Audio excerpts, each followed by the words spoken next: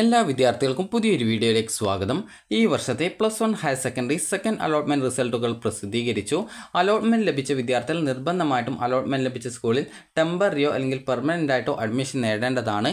അതുപോലെ തന്നെ allotment check ചെയ്ത സമയത്ത് വിദ്യാർത്ഥികൾക്ക് അലോട്ട്മെന്റ് സ്റ്റാറ്റസ് അല്ലെങ്കിൽ സ്റ്റാറ്റസ് ഓഫ് അലോട്ട്മെന്റ് നിങ്ങൾക്ക് നോ ചേഞ്ച് എന്ന് പറഞ്ഞുകൊണ്ടാണ് കാണുന്നതെങ്കിൽ അങ്ങനെയുള്ള വിദ്യാർത്ഥികൾ ഈ ഒരു കാര്യം പ്രത്യേകം ശ്രദ്ധിക്കേണ്ടതാണ്. അപ്പോൾ വിദ്യാർത്ഥികൾ സ്കൂളിൽ ഈ ഒരു വീണ്ടും പോയിട്ട് ടെമ്പററി അഡ്മിഷൻ എടുക്കേണ്ടതില്ല എന്ന് പറഞ്ഞിട്ടുണ്ടായിരുന്നു.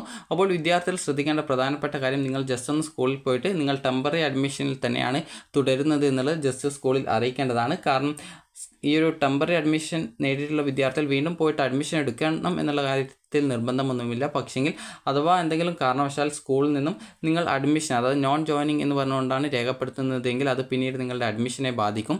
അപ്പോൾ അതുകൊണ്ട് തന്നെ വിദ്യാർത്ഥികൾ നിങ്ങളുടെ രക്ഷിതാവിനെയും കൂട്ടിയിട്ട് നിങ്ങൾ സ്കൂളിൽ പോയിട്ട് ടെമ്പററി അഡ്മിഷനിൽ തന്നെയാണ് തുടരുന്നത് എന്നുള്ളത് ജസ്റ്റ് ഒന്ന് അറിയിക്കേണ്ടതാണ്. അപ്പോൾ സാധാരണ അധിക സ്കൂളിൽ നിന്നും ടെമ്പററി അഡ്മിഷൻ ആ ഒരു ടെമ്പററി അഡ്മിഷൻ എന്ന് തന്നെയാണ് രേഖപ്പെടുത്തുക. എന്നാൽ അഥവാ എന്തെങ്കിലും അബദ്ധവശാൽ സ്കൂളിൽ നിന്നും നിങ്ങളുടെ അഡ്മിഷൻ അതായത് നോൺ ജോയിനിങ് എന്നാണ് രേഖപ്പെടുത്തുന്നതെങ്കിൽ പിന്നീട് അത് നിങ്ങൾക്ക് പിന്നീട് വരുന്ന അലോട്ട്മെന്റുകളിലൊക്കെ നിങ്ങൾക്ക് അത് അത് ആ ഒരു ജില്ലയിൽ അഡ്മിഷൻ നേടാനൊക്കെ ബുദ്ധിമുട്ടുണ്ടാക്കും. അതുകൊണ്ട് തന്നെ വിദ്യാർത്ഥികൾ ഈ ഒരു കാര്യം പ്രത്യേകം ശ്രദ്ധിക്കേണ്ടതാണ്.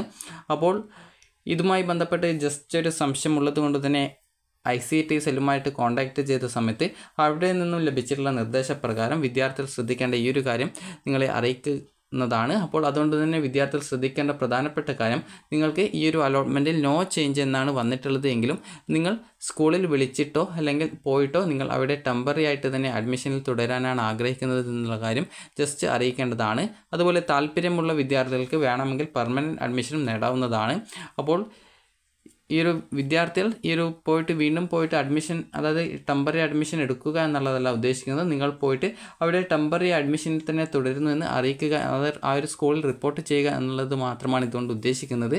അപ്പോൾ വിദ്യാർത്ഥികൾ പ്രത്യേകിച്ച് പോയിട്ടില്ലെങ്കിൽ പ്രോബ്ലം ഒന്നും ഇല്ല എങ്കിലും അഥവാ സ്കൂളുകാരുടെ അതായത് സ്കൂളിൽ നിന്നുള്ള എന്തെങ്കിലും അബദ്ധവശാൽ നിങ്ങൾ നോൺ ജോയിനിങ് എന്നാണ് രേഖപ്പെടുത്തുന്നതെങ്കിൽ അതായത് സ്കൂളിൽ ജോയിൻ ചെയ്യുന്നില്ല എന്നാണ് രേഖപ്പെടുത്തുന്നതെങ്കിൽ അത് നിങ്ങൾക്കൊരു അഡ്മിഷനുള്ള ഒരു ബുദ്ധിമുട്ടായിരിക്കും. അപ്പോൾ അതുകൊണ്ട് തന്നെ വിദ്യാർത്ഥികൾക്ക് ഈ ഒരു അലോട്ട്മെന്റിൽ അതായത് സെക്കൻഡ് അലോട്ട്മെന്റിൽ നോ ചേഞ്ച് വന്നിട്ടുള്ള വിദ്യാർത്ഥികൾ അലോട്ട്മെന്റ് നിങ്ങൾക്ക് ആദ്യം ലഭിച്ച അതായത് എവിടെയാണോ ടെമ്പററി അഡ്മിഷൻ എടുത്തിട്ടുണ്ടായിരുന്നത് ആ ഒരു സ്കൂളിൽ വിളിച്ചിട്ടോ അല്ലെങ്കിൽ നേരിട്ട് പോയിട്ടോ നിങ്ങൾ അവിടെ ടെമ്പററി അഡ്മിഷനിൽ തന്നെയാണ് തുടരുന്നത്. പെർമനന്റ് അഡ്മിഷൻ എടുക്കുന്നില്ല എന്നുള്ള കാര്യം നിങ്ങൾ അറിയിക്കേണ്ടതാണ്.